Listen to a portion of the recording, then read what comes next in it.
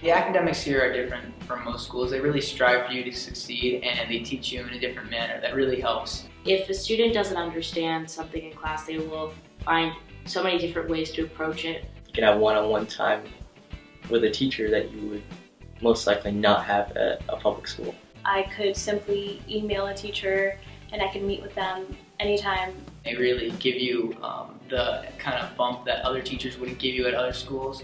They're like become your second parents to like make you baked goods when they're on duty. It's just a different sort of relationship that you would have with them, not like something you would have at a day school.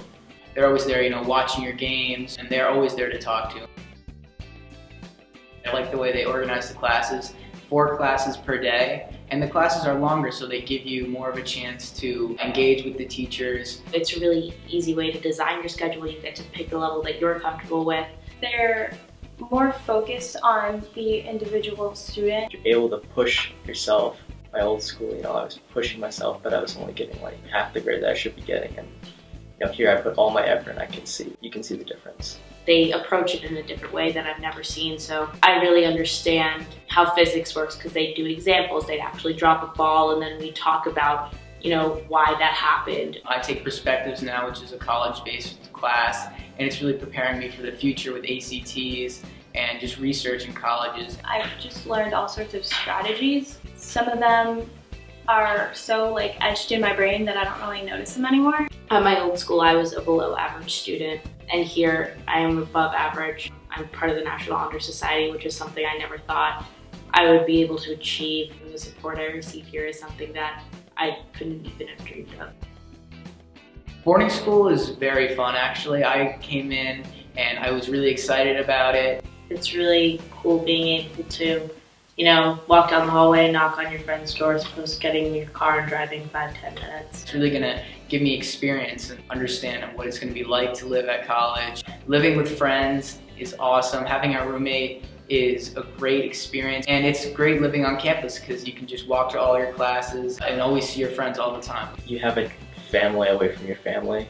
No matter what you're going through, it's good or bad, you know, they'll always be there for you.